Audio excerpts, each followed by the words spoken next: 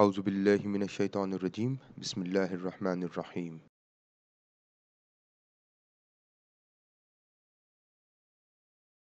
Model explanatory power. In this session, we are going to talk about how to assess the explanatory power of a model. R square. The R square represents the variance explained in each of your endogenous constructs and is a measure of the model's explanatory power.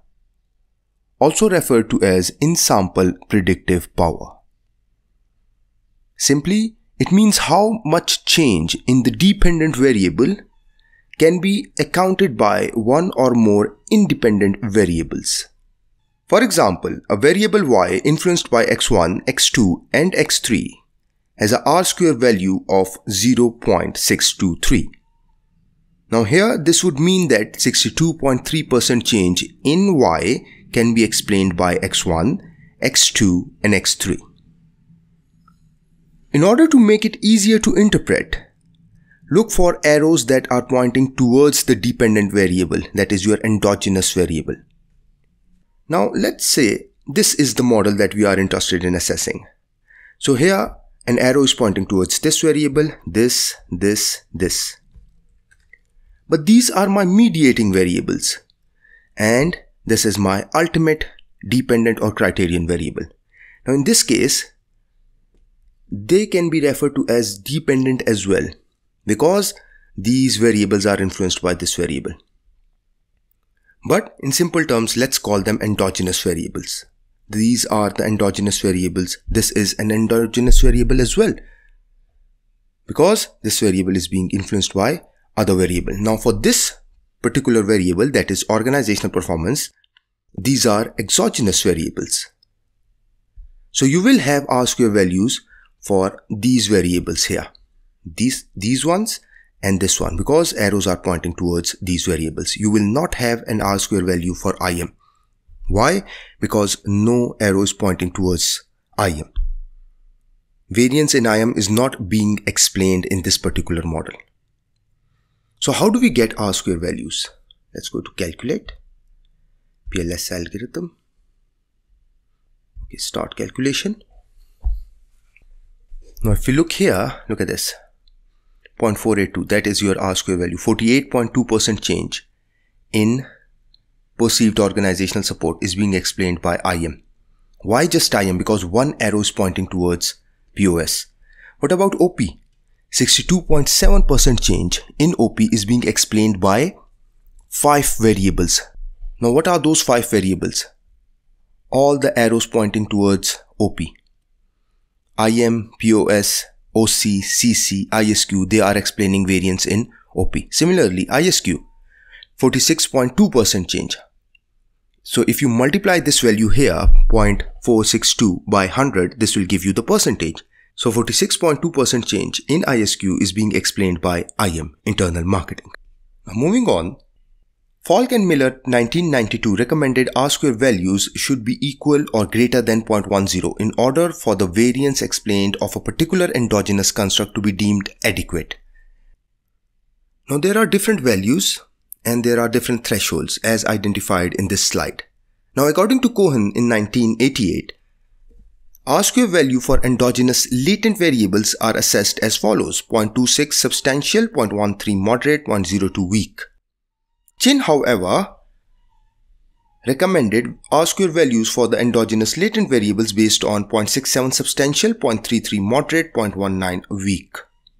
Hair et al. Suggested in the scholarly research that focuses on marketing issues. They suggested R-square value of 0.75, 0.50, 0.25 for endogenous latent variables.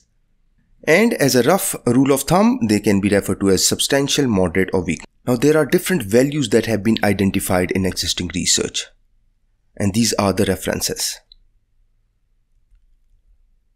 So what is f square? Now that we have assessed r square, the next is f square.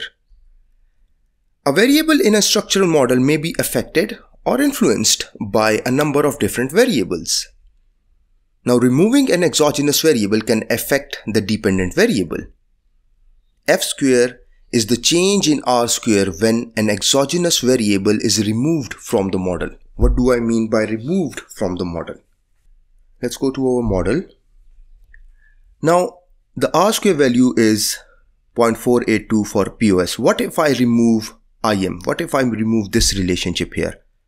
What will be the change in R square? Will it be significant? Now this is referred to as F square. The change in R square value because of the removal of an exogenous variable. Now F square effect size greater than 0.02 is small, 0.15 is medium, 0.35 is large according to Cohen.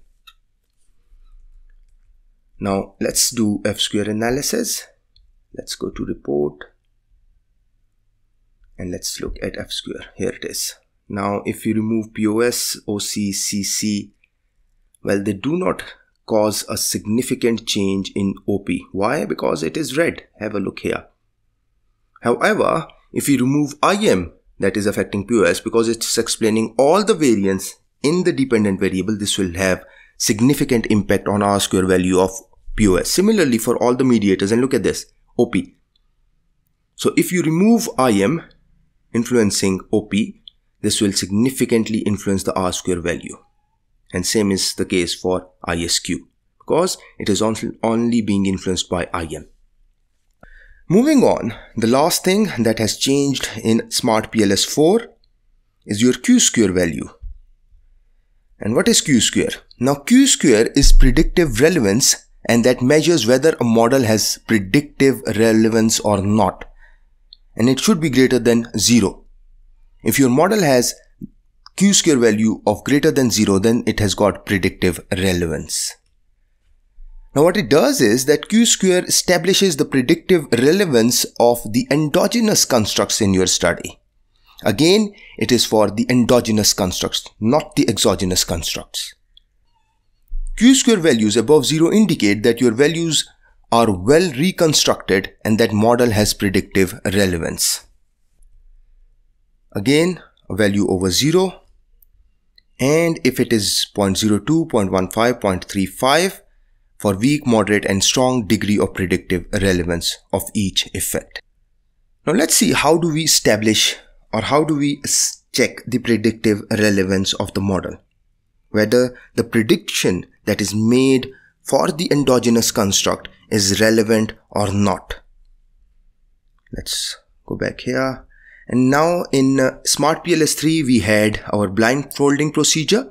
In this case we do not have the blindfolding procedure. They have changed it and we are going to use PLS predict for it. So let's go PLS predict. So what is PLS predict? Uh, how to use it? The concept, the process, everything will be explained in coming lectures. For now, we are just going to use it for Q square that is predictive relevance. Let's start. Now here are our results. Let's go to report, latent variable prediction summary, and this is your predictive relevance for each of your endogenous construct. Now look at this. It's greater than zero. This means that predictive relevance for your endogenous constructs in this model is established. Now how do we report these results? So here are your predictors, outcomes, R square values, F square values. You simply have to copy these values from your results here. So the outcome is OP and that is being explained by all these variables here. So here is your R square. Now F square value. So if I remove POS from this particular relationship, this will be the F square change. Now each of these predictors affecting the outcomes, their R square values, their F square values are reported here. And here is description of results. So you start with your R square value what it means and that is it is referred to as in sample predictive power. The R square ranges from 0 to 1 where high values means high explanatory power. As a general guideline Cohen approach 0.26 for substantial, 0.13 for moderate, 0.02 for weak. And now that you have described your R square as what it means, then you can summarize your results or tell the reader that these are the results and they are presented in the table. More or less your R square values are over 0.26 so this means that the explanatory power is substantial. So once you have briefly described your R square, what it means, you can simply you can obviously since I've got more variables in my study so I've just referred to it as overall or a summary of R square. You can do individual R square values and explain the R square for each of your endogenous constructs as well. Now F square, what is F square? And in this case, the impact of predictor variable is high at the structural level if F square is 0.35, it is medium if it is 0.15 and small if it is 0.02 according to Cohen. Now in this case, the model F square effect size shows how much an exogenous latent variable contributes to the endogenous latent variable's R square. So it is the contribution towards the R square. In simple terms, effect size assesses the magnitude of strength of relationship between the latent variables. The results in table 1 revealed that F square effect size ranged between this to this. So it ranges from negligible to substantial. And finally, the q square values for the endogenous constructs was over 0 hence predictive relevance was established. Now since the q square values were higher predictive relevance was established and you can have a column here for q square and then you can have q square values for your outcome variables here. And again you can simply remove these cells empty the cells like this. Let's say let me quickly do one